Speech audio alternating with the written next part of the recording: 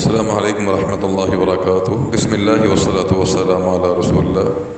صحاب کرام، اس کائنات کی انبیاء کے بعد سب سے عظیم ہستیاں ہیں، جن سے اللہ تعالیٰ راضی ہے اور انہوں نے دین اسلام کے نشو اشاعت کے لیے اپنا مال، اپنی جان اور دنیا کی ہر چیز قربان کی ہے۔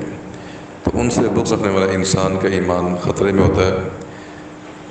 ان کے بارے میں نفرت، ان کے بارے میں لب کشائی کرنا، تھان کرنا، سب کو ختم کرنا، یہ انسان کے نقص ایمان کے نقص کی علامت ہے۔ لیکن رہا مسئلہ قتل کا، تو دیکھیے اہل علم نے صاحب اکرام کو برا بلا کہنے والے کو واجب القتل قرار نہیں دیا۔